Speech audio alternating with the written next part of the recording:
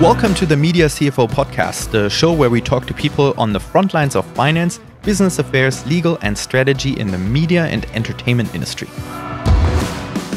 I'm your host, Tobias Jäger, and when I'm not hosting this podcast, I'm the CFO of television and content studio Colibri Studios in London.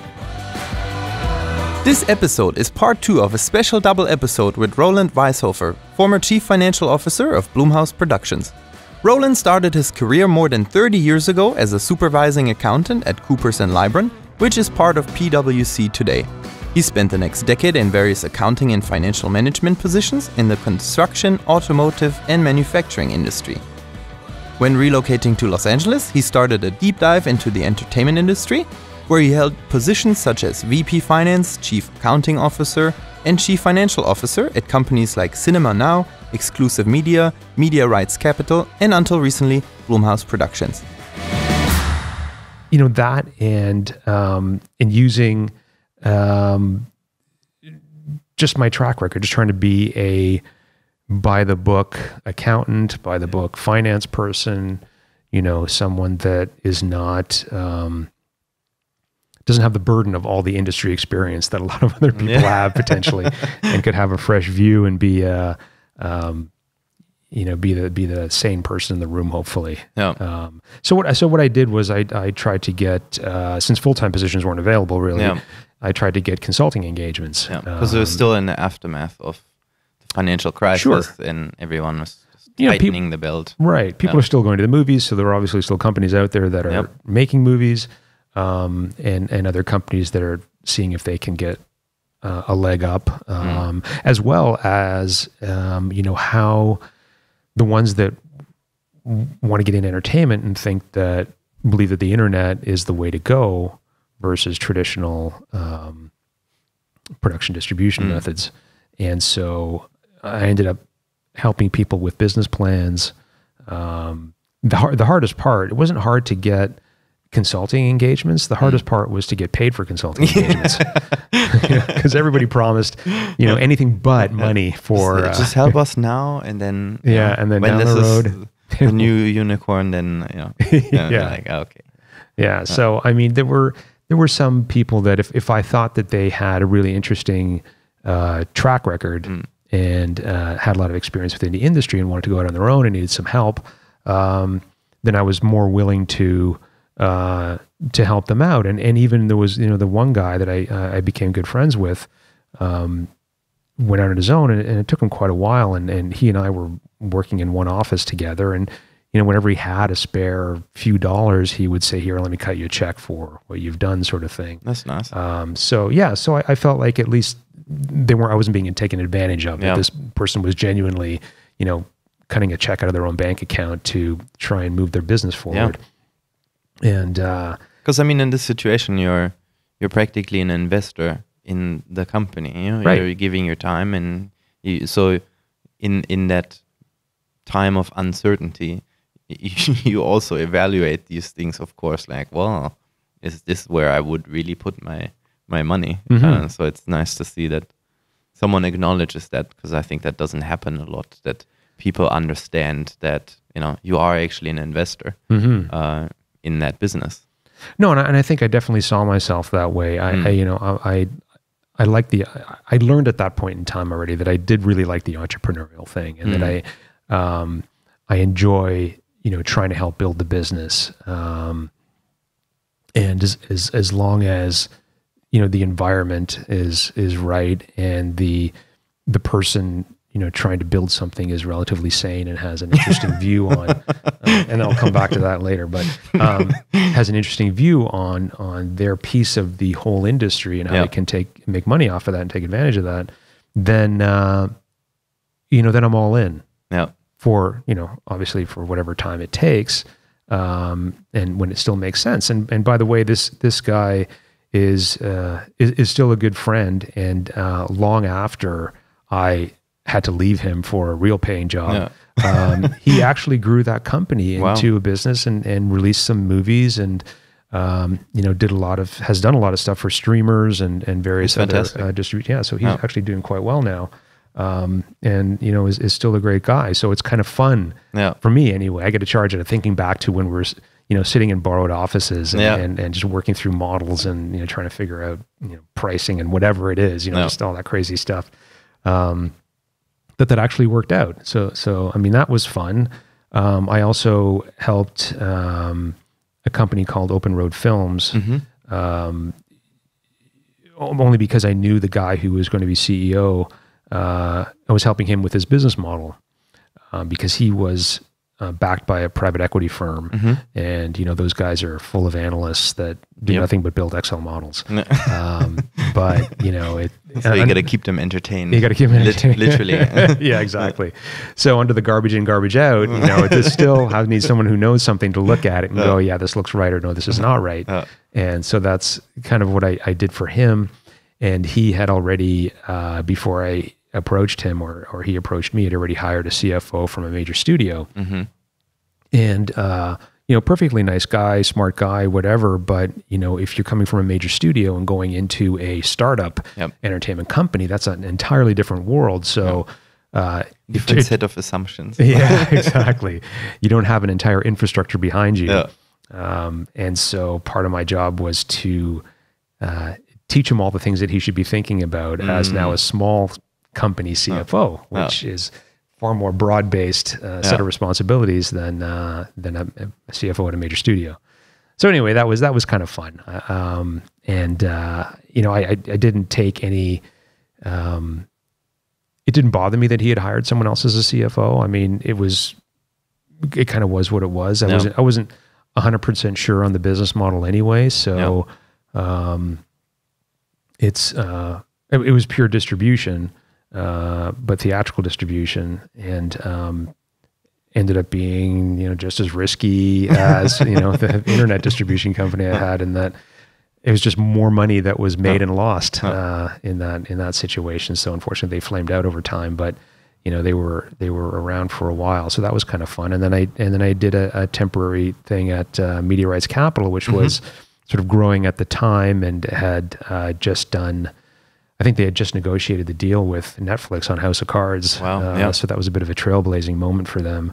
And uh, their VP finance had left, and so I came in and and and um, you know installed a new accounting software system and helped them try to find a replacement uh, Yep. VP finance, um, that sort of stuff. But all you know, all those experiences gave me a bit more.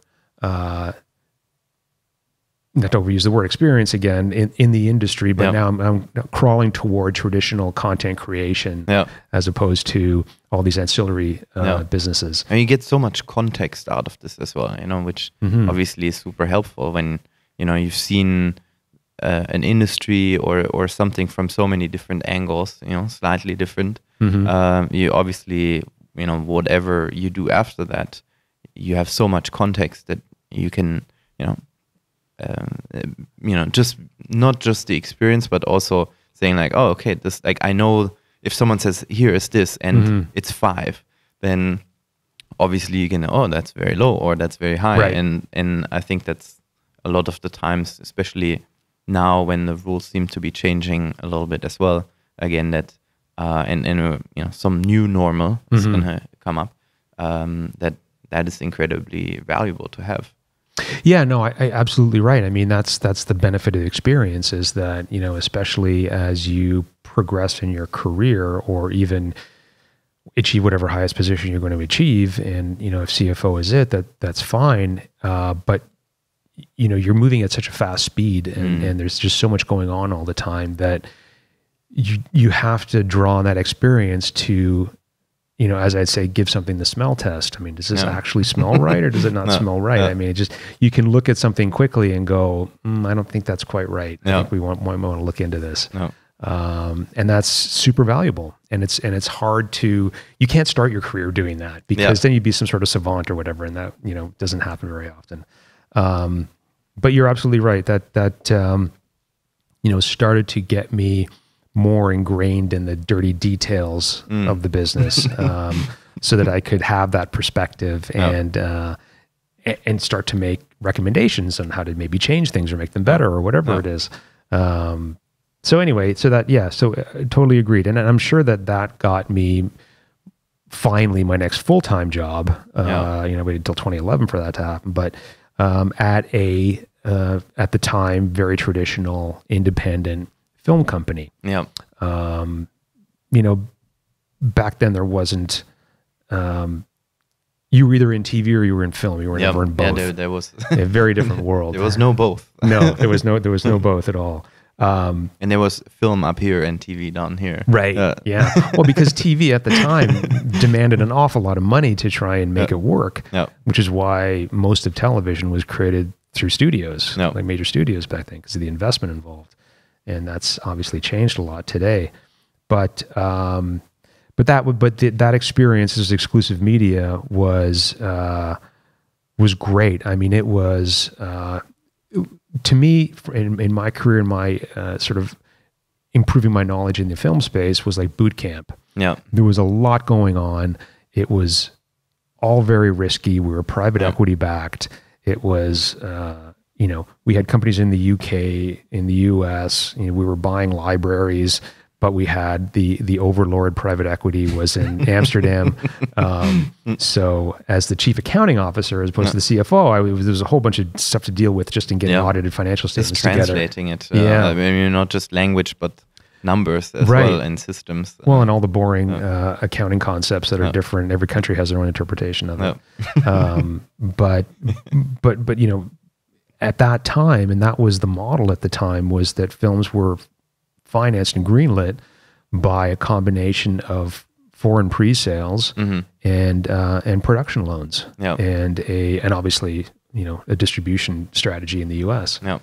Um, and so that seemed very cookie cutter. Of course, you were still beholden to the um, the success or failure at the box office. Yep. But at the end of the day, you could mitigate a lot of the risk of doing a 20, 30, 40 million dollar production by having foreign pre-sales mm. um, that covered the bulk of your of your budget. Um, and that model worked well enough, um, and a lot of people uh, made a lot of money at the time doing that. Uh, it uh, a lot of foreign sales companies started up uh, at that time yeah. as well because that model worked so well. And all we've seen since then is that model has gone away. Mm. I mean, foreign pre-sales still exists, but they're a shadow of their former selves. Yep. So you, that's why you really don't see a lot of independent 20, 30, 40 million dollar movies being made. Yep. Um, you know, unless you're Megan Ellison, I guess, or you have some, some deep pockets somewhere of your That's own. what to say, yeah. Unless you have some deep pockets. Yeah. Usually short fingers, but deep pockets. Yeah, uh. exactly.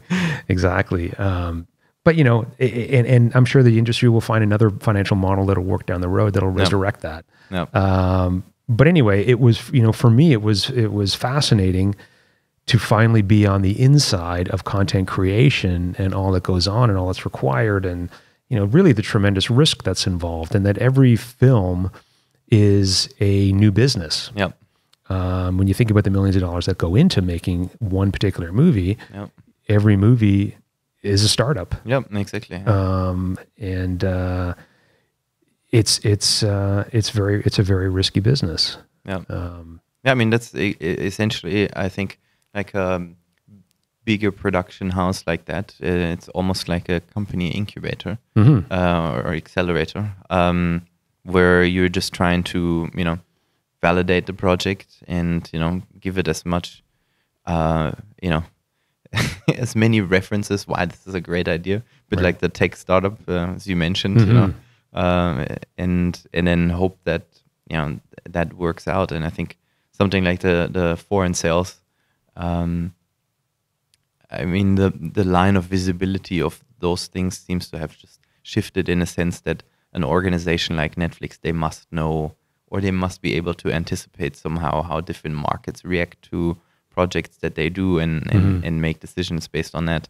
Um, but obviously, if you're a production house, you you don't really have access to the data or the, you know that kind of uh, insight. Mm-hmm. Um, so yeah, I think the, the, no, that's a great point. Actually, yeah. I hadn't uh, hadn't actually thought of it that way. But I mean, it is. You're right. If we fast forward to today, you know, yep. Netflix is a um, end to end kind yep. of like a major studio would yep. be. Um, with the secret sauce being that they don't tell anybody anything. No, no. So nobody actually knows how well or poorly anything yeah, exactly. does. You can only judge them, yeah. judge it or guess based on what goes up and what comes down after their site. But not even in the financials. I mean, if you dive into their financials, all you see is whether more people signed up or not. Right. Uh, but you don't know how, how many hours they or minutes or seconds mm-hmm. they watched of anything. Um, for me, it always um, seems a bit like the 1930s, 1940s US studio model. Oh yeah. Uh, you know where they try to own the whole value chain, including the stars and everything. Right. Uh, but it's just today, you know, and mm-hmm. technology allows that today. It just exactly. makes it different. And and um, so I, I always think it's funny how history repeats. Mm-hmm. You know, slightly, you know, with a different flavor. Uh, yeah. But um, yeah, so from there you went and then um, you're like, okay, this is content production now, a production right. house. Um, you know, we made some uh, investments on the side, yeah. and you know, within four or five years, uh, like most independents, like I said earlier, it started to fail. Yeah, and the the big problem with this one was, you know, you had a willing investor that put over a hundred million dollars into the company, wow. mm-hmm. but um, like any private equity firm, VC, whatever you want to call it, any investor really, um, you want to re- you don't just want your money back, you want to return on your money, yep, yep. Um, and you understand the risk involved, so yep. you want to even higher return. Um, and, and, the the the thing that sunk the company, interestingly, in, in retrospect, was the fact that the first three films that were released um, all failed mm. uh, to various degrees, and so after one and a half years, you're now in the hole. Call it twenty million dollars, something like yeah. that. Um, and then, you know, if you're the CEO, now you're like, okay, now now I've got to make that twenty back, and then some, and invest in a new project, and invest in a new project, and that has to return even more to make up for that. So the overall it looks like a win. And by the way, I'm also burning overhead every day that we're here as well, losing that money. Um, so what naturally happens then is exactly what you'd expect, which is the only way you get an outsized return is to take on greater risk. Yeah. And so subsequent projects then started taking on greater risk. Mm-hmm. Um, the the other problem that arises uh, that I found interesting is that you know every every the lifeblood besides money of an entertainment company is being able to source great material mm-hmm. yep. uh, to produce. And whereas at the beginning, I wouldn't call it great content, but at mm-hmm. least there was flow of content mm-hmm. um, of material coming to into the company. But once you have a few failures, mm. You get less and less of that, obviously, because talent doesn't want to be attached to yep. a bad track record. You know, yep. they have enough problems of their own. So, um, starting, you know, continuing to try and source content that would make up for the past failures and generate a return became even more difficult. Yep. And so we started doing crazy things like investing in other companies and whatever, and or taking a, a project that actually had fantastic potential internationally. Mm. And uh, and taking all the risk in the U.S. only, where it w- which was the one territory where nobody cared about that piece of content, you know, taking big bets like that, uh, ended up sinking the company because you can have big rewards, but you also have big failures with risk. So that was that was a lesson in what how to manage ri- or not manage risk in the entertainment business. Um, so that that's what I found interesting and learned a lot about in that you know besides the the the bones of of, a, of an entertainment company. but I feel also I feel like um, the situation you described. Obviously, you know you have a huge investor uh, you know, private equity money means, you know, you're usually talking what three three digit 1000000 mm-hmm. dollar amounts. Um, but I feel like the exact same dynamics and mechanics can also uh, be applied to smaller companies. Because um, I feel like, you know, especially um, when I was doing investment banking, I would speak to, you know, smaller production companies or IP owners. They wanted to raise money. I think one component that they like to overlook was that the investor they were talking to or they wanted to attract usually someone had invested in that investor as well you know mm-hmm. i mean private equity uh, funds they they source their capital as well from other like pension funds or you, you know Yeah. you name it. Um, so they they often seem to not anticipate what kind of the needs, if you will, are from from that investor, uh, and that's where you know kind of it, it starts to go wrong before it even started. Yeah. It's like, well, you know, there's you know you can tell a great story, uh, but as you said, then if you know the first one doesn't work out, then oopsie daisy, you know, you have to you know the second one has to be like three times as great as as the model says because it needs to make up for the first one and the Right. the, the other one. Um, Well, I think I think I had mentioned this to someone else that um, you know the the film business is y- you have to take a portfolio approach. yeah, Um, just like the the VCs and the private Yeah. equity firms, they Yeah. know they're going to have winners and losers. They just Yeah. hope that the winners make up more than the losers Exactly. lose. Um, but in, in, in the film industry, it's the same thing. And every business plan that you read will acknowledge that. And and show you that in- page. yeah, yeah, and show and shows you that in aggregate, Yeah. you know, you will it will make money. It will be successful. This model will work. And what that exclusive media experience taught me is that the order of the successes and failures matters more than Yeah. whether you think overall 10 films that's are going to make That's you money. true. Yeah. yeah. Because if you're behind the eight ball and then you could burn through all Yeah. your cash in three movies and then have none to, left to make seven more. Um, it reminds me of a a story I heard about a startup uh, here in in Europe. Um, don't want to use their name, Right. Uh, um, and so they had received uh, um, a substantial investment, a couple hundred thousand from some angels, um, for something that they had promised that they would do, um, which they didn't have. Um, you know, they they kind of had an idea of how they would get there, um, and instead of you know kind of saying, okay, we'll try to build this, uh, they actually took this money and invested it in Google stock. um, and then eight months later, that had exploded. Um, and so they were delivering an enormous return. Right. Uh, and um, and then basically use that money that they had, I think, um, close to doubled Yeah. uh, in that time. Uh, they used that to build the technology, and then they ended up, um, you know, delivering on what they Oh had my promised. Jeez. That's lucky. and exactly when I heard that, I was like, "Oh my god, this is like it could have gone the other way as well." Oh, and so quickly. yeah, and um, what's so like kudos you know, to the to the chutzpah you need to do that. No Uh, kidding. but um, Buy lottery tickets.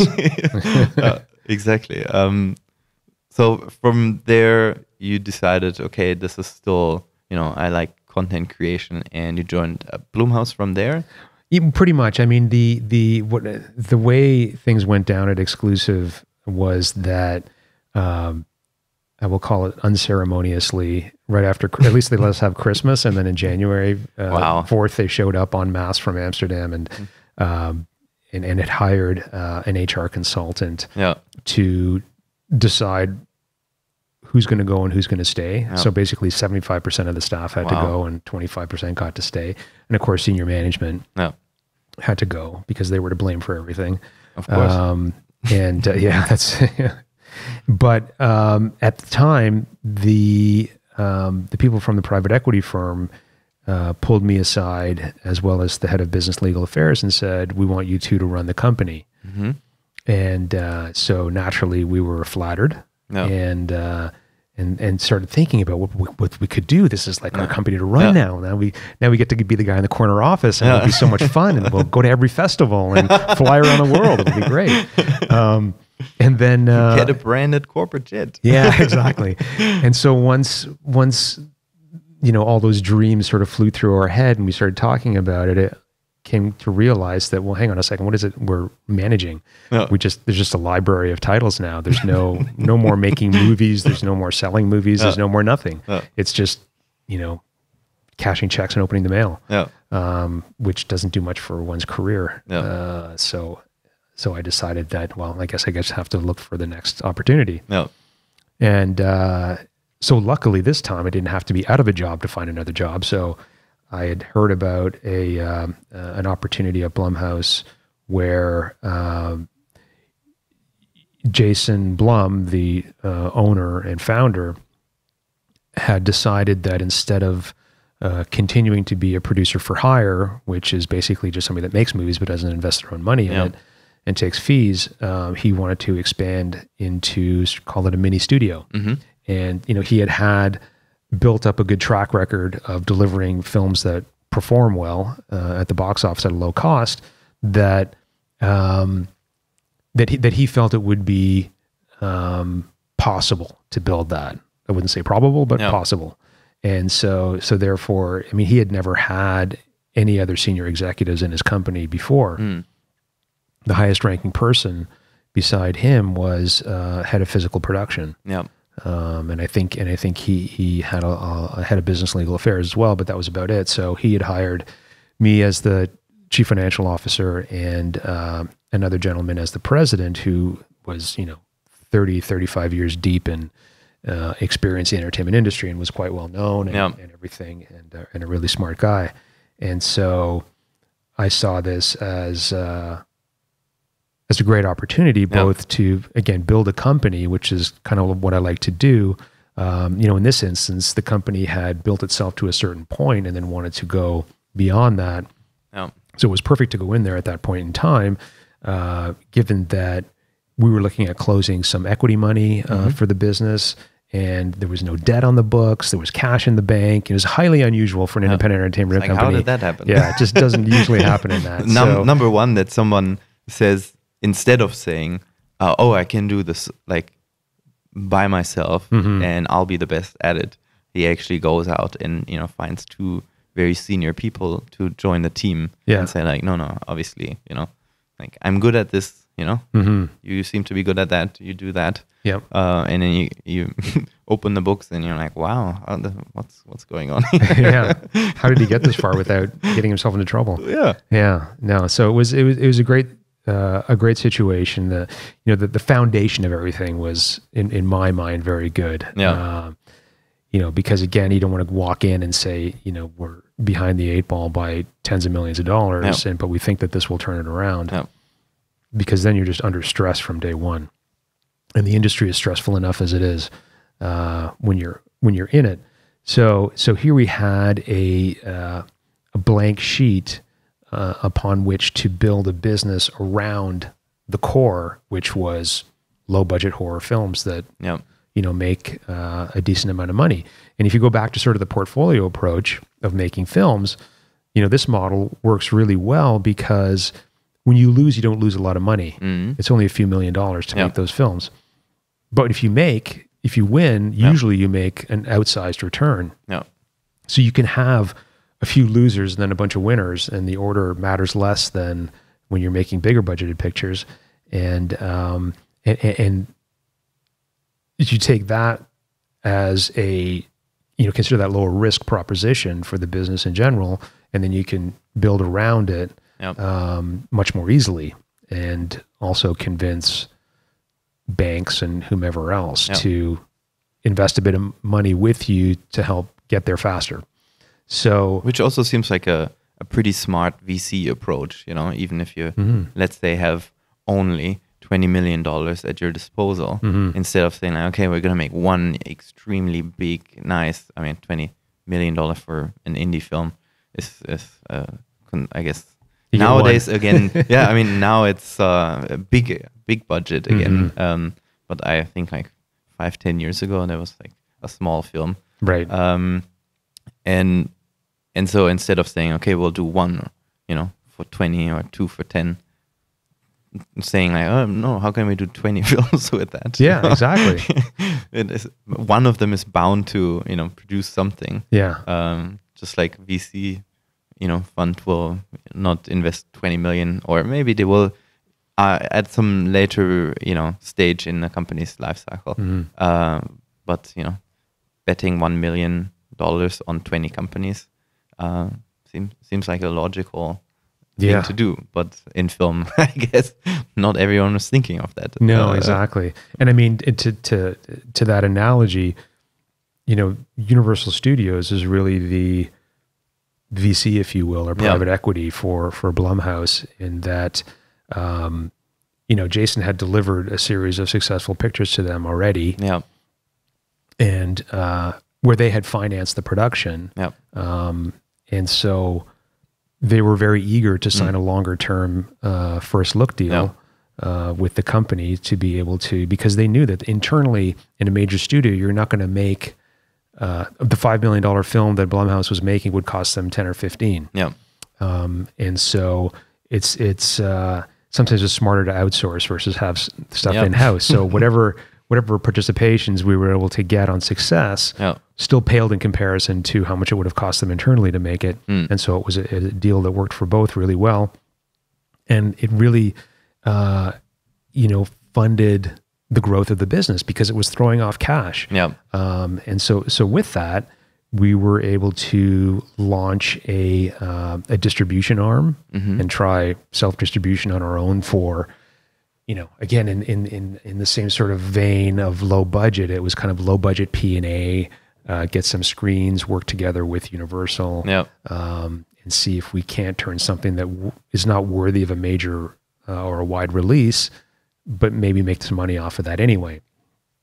You know, and go to the banks and raise the money so you can borrow the P and A dollars that you need. And uh, I mean, that was probably the one thing that kind of worked for a bit, but we quickly realized that y- you don't you don't win necessarily. It's actually more difficult than you think to make back Yeah. P and A spend, and and so it just yeah it was it was we pulled back from that uh, very quickly because it just didn't work. Again, it's one of those where the first couple don't work. Yeah. Then all of a sudden the money you borrowed, okay, well we don't have much left, so now Yeah. what are we going to do? Yeah. Um, you can't turn those bad movies into good ones further down the road, so they're not going to throw more money off.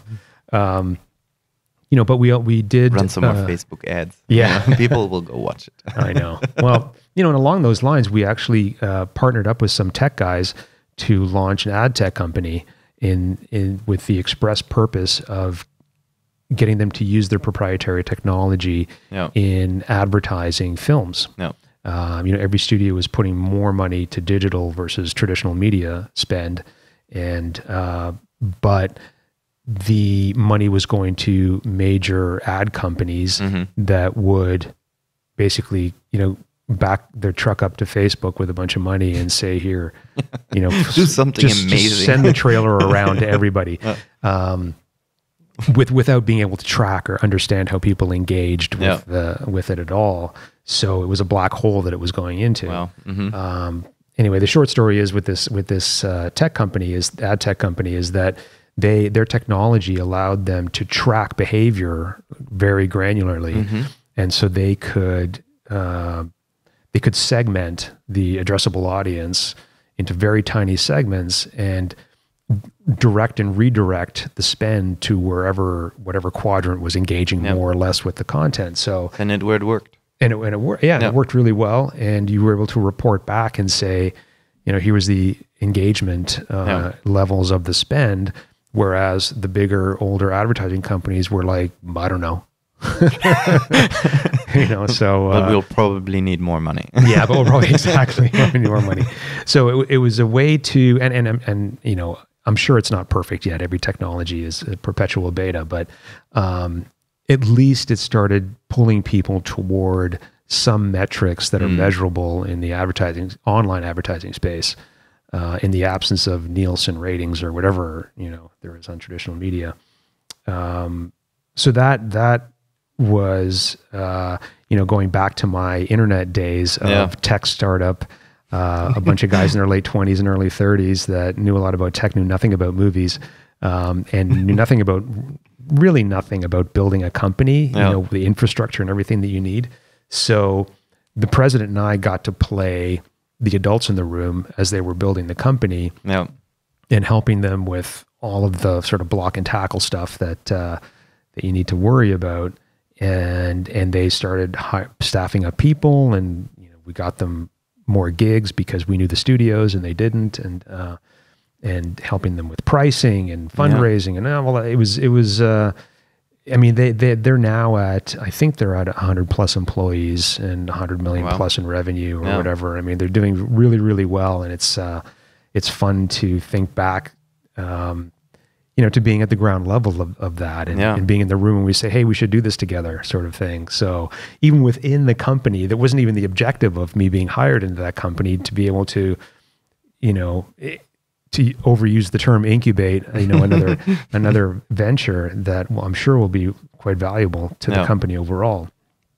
Um, but and, and also, you know, it, it helps not only in just being an investment, but it helps in learning that part of the business that is growing and changing yep. drastically, um, and how a traditional film company slash TV company can utilize that technology for their own benefit uh, as well. So you know, it was very synergistic and and and all that sort of fun stuff. Uh, you know, just like you know, we made an investment in an online original uh, content creation company mm-hmm. that uh, you know, was started by this super young guy who is really smart and a real go-getter. And uh, I mean, he's built that thing up already as well, you know, quite a bit. But it, it but it, since he was focused on horror and the horror audience, it fit perfectly with with what we were doing and was another avenue that we wanted to go into, but yep. you know, some it's another one of those better to outsource that ability than try and build it in house. No. You know, because us old guys are supposed to help you build the business. We're not creative enough to know what you know what the what the content should be. But anyway, um, so that, and then of course, uh, getting an investment to explode the uh, TV side of the business and, and, move that brand and leverage that brand in the TV side, which um, you know, with with making some of the right hires in the executive side of that business has really exploded the um, the television side, where it's already bigger than the film side.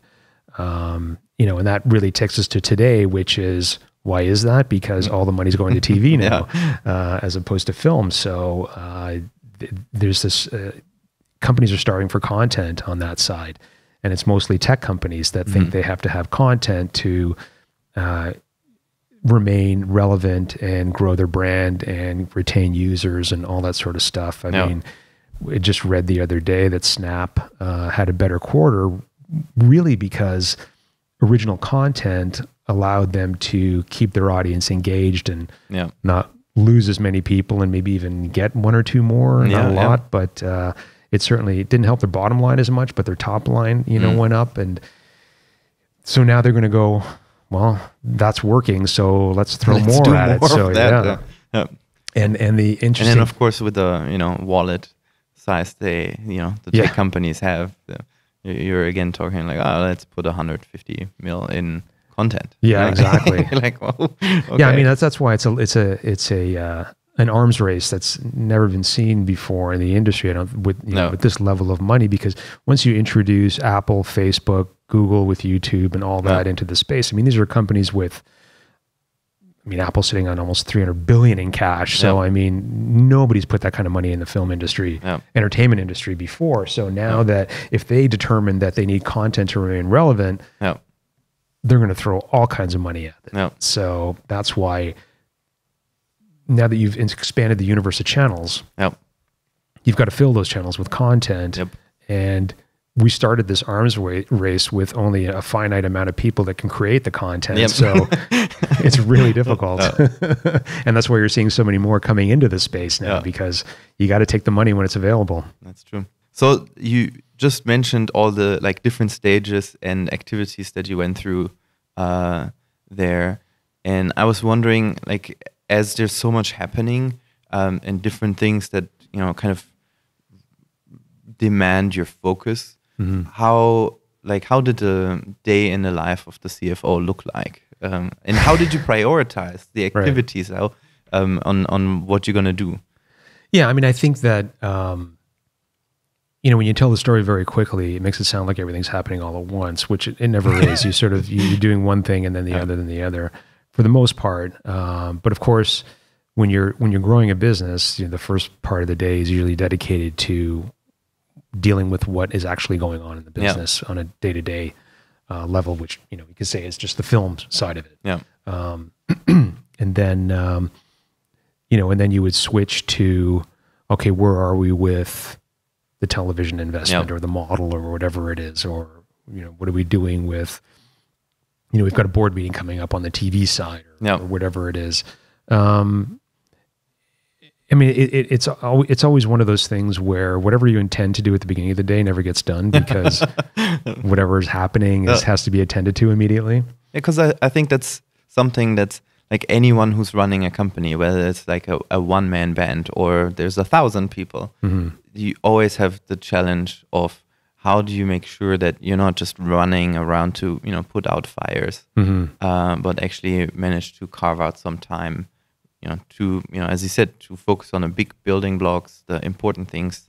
Yeah. Um, how, so how did you do that for yourself? In well, I mean, I've had to build a team mm. because the the only way I can free up the time to work on these special projects or uh, work on, on expanding the business in a different direction or whatever it is to make sure that that day-to-day stuff that I was doing in the first half of the day that I have staff that um, that can take care of most of that for me. So that I'm really just um, looking at things that absolutely need to be looked at um, for a short period of time. Yeah. And uh, you know having meetings as much as everybody hates to have meetings but you have those meetings to you know catch up and, meeting. Yeah. So that they can ask me questions, I can ask them questions, yeah. and then we can have a game plan going forward, whether it's for the day, the week, the month, or whatever. Um, but I mean, of course, that introduces its own issues with yeah. do you have the right people and and all that sort of fun stuff, and that's sort of what you have to manage through uh, in order to in order to free yourself up to do the stuff that um, is important to growing the business at a higher level and yeah. not doing it at midnight, sort of thing. Yeah. Um, yeah, so that's that's that's really what it was, is, uh, and then understanding, okay, what type of person do I need to help me out here at this point mm. in time, so they don't have to, so I can sleep at night. Yeah, and not get in trouble as well. Yeah. Uh, one thing, obviously, you've been in this industry for for a long time, but I'm wondering if you could go back in time and meet your like 20 year old self, what recommendation would you have? yeah, I mean, probably everybody wishes they could have that ability. um, I, I, guess I mean one thing. One thing is a bit of patience, mm. um, because obviously, you know, none of this stuff happens overnight, and you only gain the experience by doing it, and by doing it, that means time. Yeah.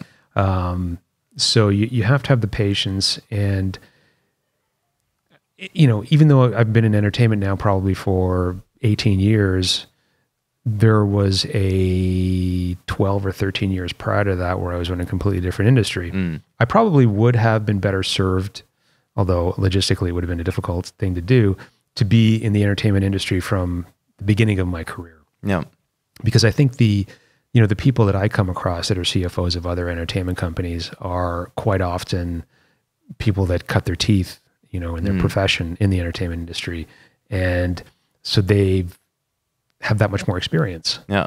Um, I mean, I'm, I'm making up for lost time by trying to gather as much experience as possible to feel like I've seen everything, but it's still, it's, it's, I still feel like, um, you know, I can't walk in the room and say I've got the 30 or 35 years that say the president at Blumhouse has, yeah. because he started off, you know, basically from college onward, yeah. uh, doing that sort of thing. But I mean, but there must be, I mean, there must be an advantage more often than it is a disadvantage just to have the kind of, well, first of all, for the team or the organization to have the plurality of views or opinions or, you know, uh, ways of looking at it. Um, but then also for you that you see things slightly differently, perhaps, than someone who's, um, you know, in the industry for such a long time and just sees yeah. it the way they do. Because um, obviously there's things that you look at maybe differently than mm-hmm. than someone that has been in the entertainment industry their entire life.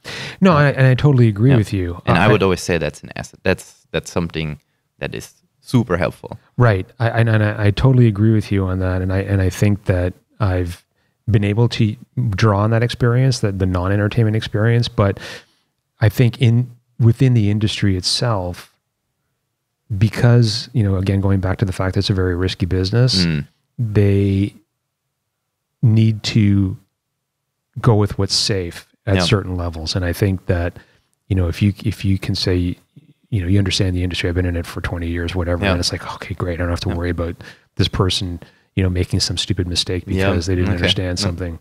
Um, and so it's it's there are very few. I've come across some people that mm. s- agree with that point of view and say, you know, it's great to be able to draw on that sometimes because it's a a bit of a breath of fresh air. But I think most just go, no, no, no, no. Just I, all I all I want is somebody who who understands the business, and I you know, and I don't need to worry that you're still learning or don't yeah. know or yeah. whatever it is. Yeah, and you also have connections within the industry.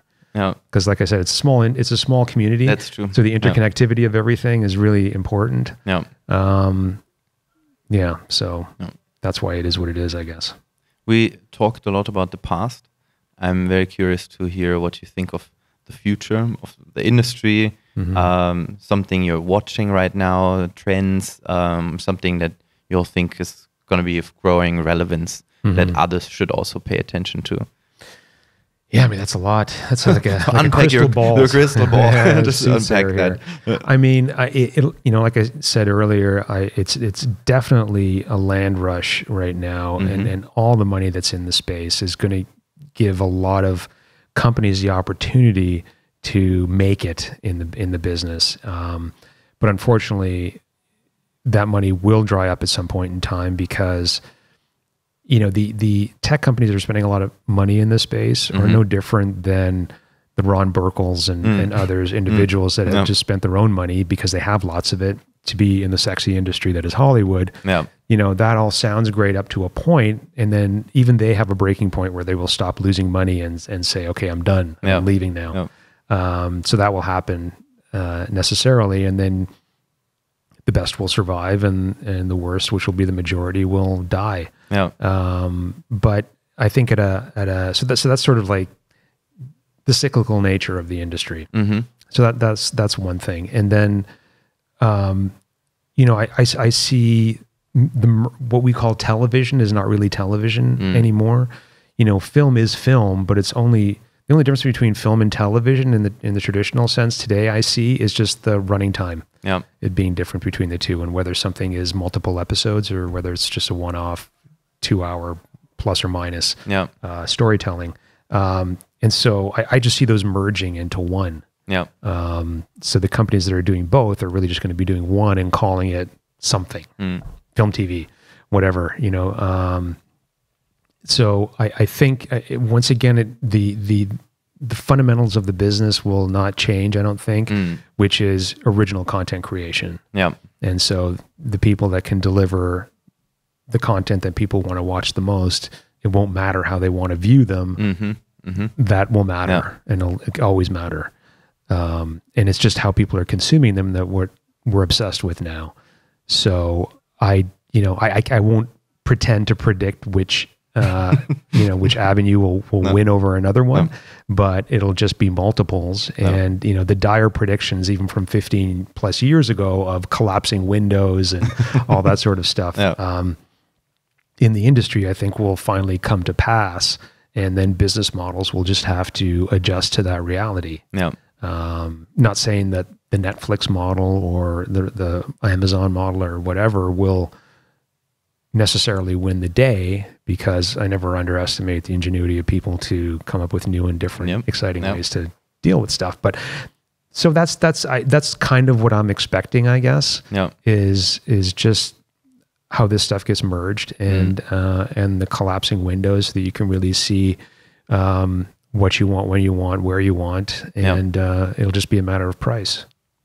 Perfect. We'll both uh, review this in yeah. some time. Uh, it's a perfect uh, note to end it on. Thank you so much, Roland, for your time and oh, thank you. your insights. Um, it's been uh, an, an, amazing journey, and um, mm. looking forward to seeing what's next. Yeah, no, absolutely. I enjoyed it very much. Thank you. Thank you. This episode is part two of a special double episode with Roland Wieshofer. If you haven't listened to part one of our Roland Wieshofer special yet, be sure to tune in to catch the full story. In part one, Roland talks about getting started as a supervising accountant and learning the ropes in the construction, automotive, and manufacturing industry before taking first steps in the entertainment industry with one of the hottest and most buzzed companies at the time. Thank you so much for listening, everyone. We'd love to hear from you now. Please let us know what you think of the show and this episode. Leave us a comment, send us a message or tweet, and we're looking forward to welcoming you on our next episode. By the way, you can follow Media CFO on Twitter, Instagram, and Facebook. And if you haven't already, please subscribe to this podcast on Apple Podcasts and rate and review this podcast. Again, thank you for listening, and bye bye. The Media CFO podcast is hosted by Tobias Jäger. Our executive producer is Bridget Scar. Digital editing by Christina Vogt and Athanasios Karakantas. Design by Daniel Kottis. Many thanks to Anouk van Gemen and Frederick Jäger for their creative review. The notes for the show can be found on www.themediacfo.com. Copyright 2019 Colibri Studios.